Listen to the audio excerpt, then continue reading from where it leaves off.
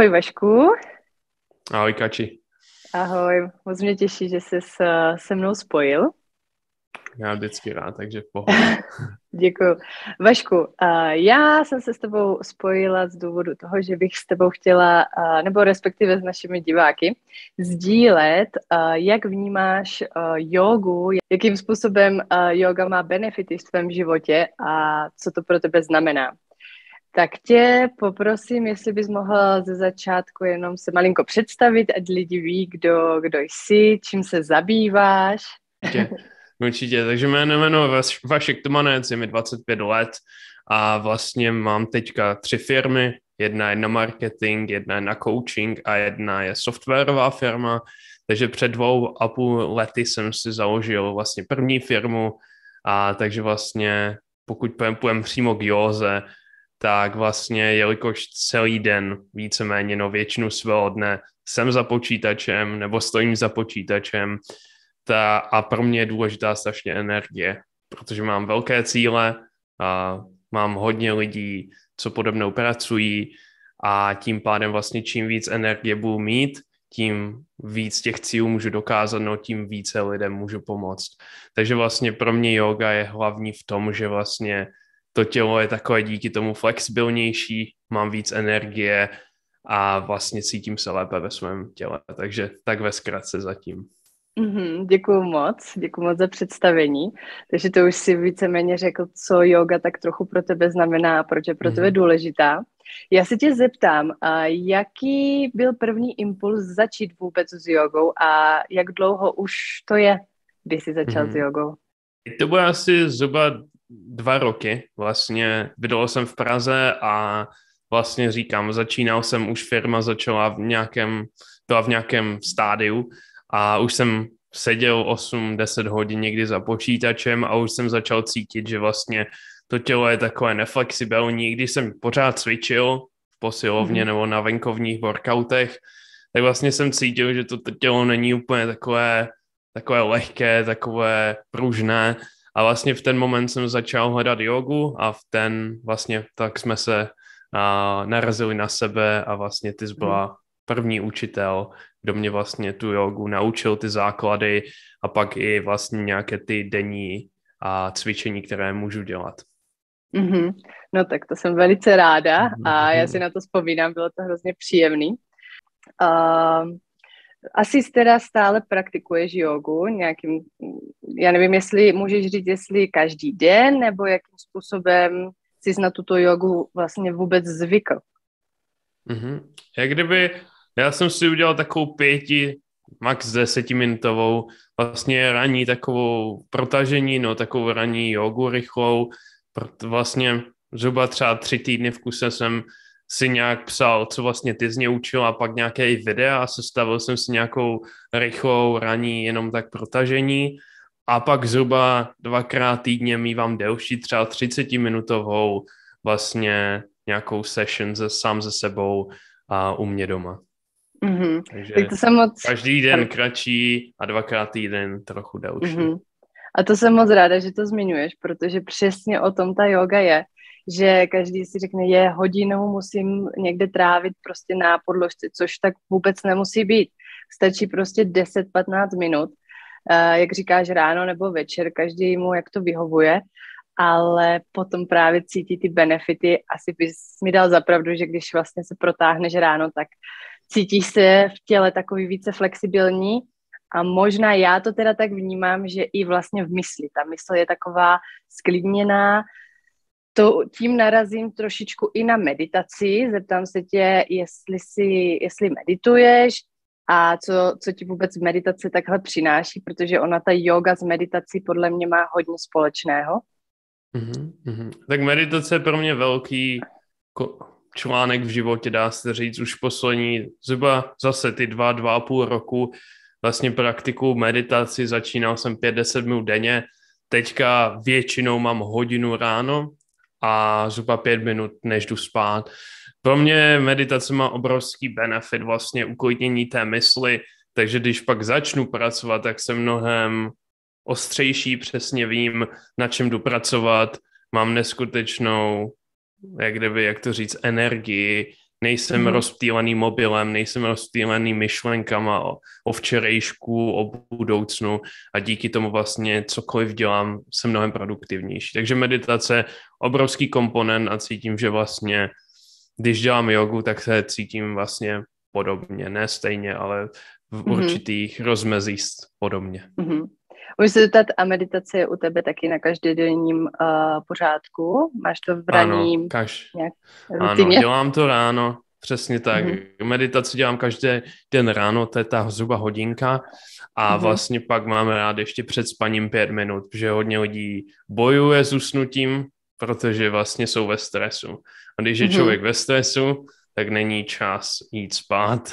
Takže vlastně máme rád pět minut tu mysl uklidnit, na nic nemyslet a díky tomu usnu během pár minut a ráno se cítím zase chilling.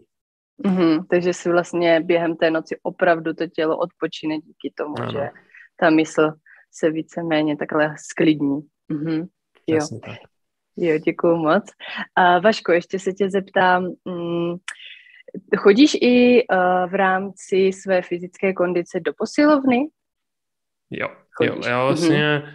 Mám třikrát, čtyřikrát týdně vlastně chodím cvičit do posilovny mm-hmm. teďka s tím, že jednou, dvakrát si mám saunu, protože tam je sauna a mm-hmm. vlastně ta yoga je, je v těch dnech, kdy nejsem v té posilovně. Takže máme rád každý den aspoň trochu něco dělat, i když to nemusí být silové, tak je to jenom nějaká relaxační yoga. Mm-hmm. A, takže každý den už jsem nějak nastavený, že nějaký pohyb mm-hmm. tam je. Jo. A zeptám se ti teda v rámci vlastně, protože mnoho lidí uh, také využívá posilovny a spíše jsou na ty silové tréninky. Vnímáš tu jogu, že to je takový skvělý doplněk právě k těmto silovým uh, cvičením, ať už je to běh, ať už je to hiking, ať už je to prostě posilovna, jestli to vnímáš jako, že to je takový správný balans na to tělo. Určitě. Já cítím, že vlastně v posilovně získám sílu a pak mhm. vlastně skrze jogu získám nějakou tu flexibilitu, nějakou tu vlastně pohyblivost. Díky tomu vlastně jo. mě nebojí záda, což hodně lidí bojuje s tím, že sedím, většina z nás sedí celý hmm. den, takže vlastně na to, tam to vidím jako obrovský benefit a proto i mám rád, že vlastně já se rád soustředím 45 minut a pak si dám 5-10 minut pauzu. Abych prostě mhm. neseděl 4 hodiny v kuse. A vlastně, když si dávám tu 5-10 minutovou pauzičku mezi zase tou další 45 minutovkou, tak rád jdu na podložku, co mám v kuchyni a třeba udělám jenom jeden, dva cviky z jogy, což může trvat dvě, tři minutky, ale zase cítím, že celý den vlastně to tělo se trošku protahuje a myslím si, že mhm. si zvyšuju životnost svého těla. No to určitě, to je výborný, to je výborný point, takhle vlastně využít tu jogu mm, klidně těch pět minut, třeba i vícekrát denně právě. Proto existují takové office jogy, kde lidi vlastně celý dny 8 hodin tráví za počítačem a na, na židli, takže určitě. Mám na tebe takové poslední dvě otázky. A další otázka je dech. Chci se zeptat, uh, jestli vnímáš díky ze zlepšení tvého dechu, ať už uh, v rámci vlastně tvého normálního života, anebo právě v těch posilovnách, kdy možná se přitahuješ a ten dech je tam velice důležitý, tak jestli si třeba zavnímal nějaké zlepšení v rámci jogy nebo meditace, nebo vůbec tak celkově tady v mhm. těchto tématech. Určitě. Vlastně asi význam dechu jsem pochopil poprvé v józe právě, že vlastně, mm-hmm. když jsem cvičil třeba ten první měsíc, tak vlastně jsem se teprve jenom soustředil na ty pozice, takže soustředit mm-hmm. se na dech bylo neskutečně obtížné. Ale čím víc jsem se na to soustředil, tak vlastně tím i ten, ty, ten pohyb byl jiný, tím pádem jsem se i jinak cítil. A vlastně mm-hmm. pak jsem začal víc praktikovat ten dech i mimo právě tu jogu. Takže mm-hmm. hlavní je to třeba když je nějaká stresová situace v práci, tak vlastně si klidně dám pár hlubokých dechů, nebo klidně před meditací, no před spánkem udělám pár relaxačních dechů. Takže určitě fakt věřím v té kombinace dech, yoga, meditace a používám to ve svém životě a lidi, co řeknou, že na to nemají čas, tak mi přijde, že to jenom není to v jejich životě priorita. Je to tak. Je to, já to teda taky tak vnímám.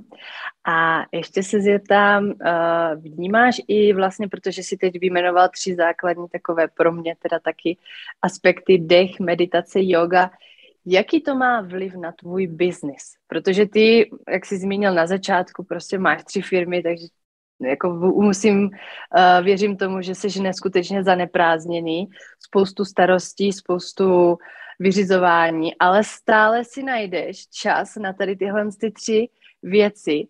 Jakým způsobem by si řekl, že ti to pomáhá právě v tom biznise, být v tom, v tom podnikání? Určitě. Já věřím v to, že vlastně v jakákoliv firma je postaveném na tom, na lidech, no na tom zakladatel tvoří hlavně ze začátku obrovskou část té firmy.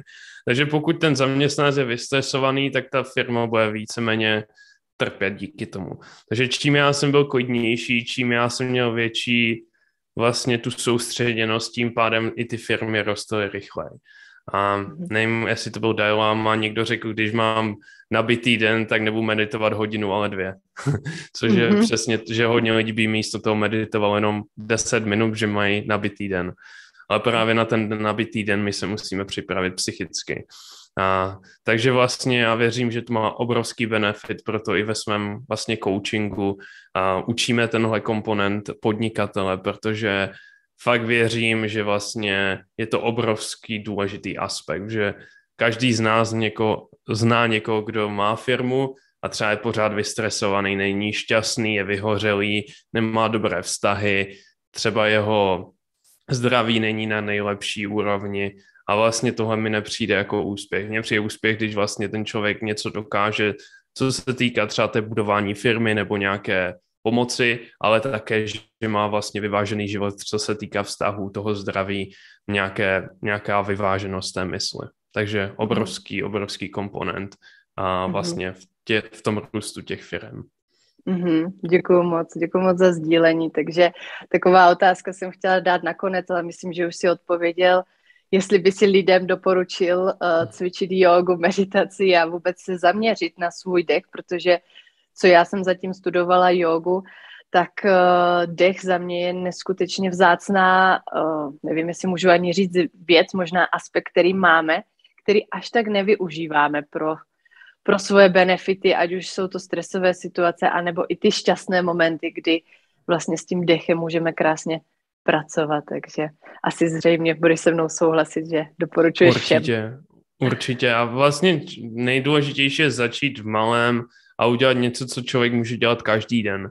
Začínat, mm-hmm. než dělat hodinu jogy sedm dní v kuse a pak přestat, tak radši dělat pět minut jogy každý den nebo dvakrát týdně pár minut, aby vlastně člověk si na to zvykl, aby člověk si vybudoval ten návyk a jako mm. dneska člověk stane, vyčistí si zuby, většina lidí si dá kafe, tak vlastně za chvilku ta yoga bude tak vlastně jenom část toho mixu.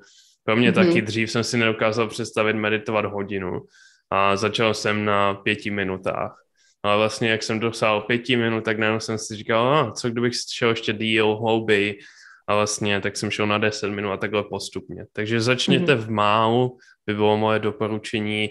Radši déle v málu, ty více mm-hmm. dní a, a vlastně za chvilku to bude návyk a bude to mnohem jednodušší si každý den na to mm-hmm. najít čas.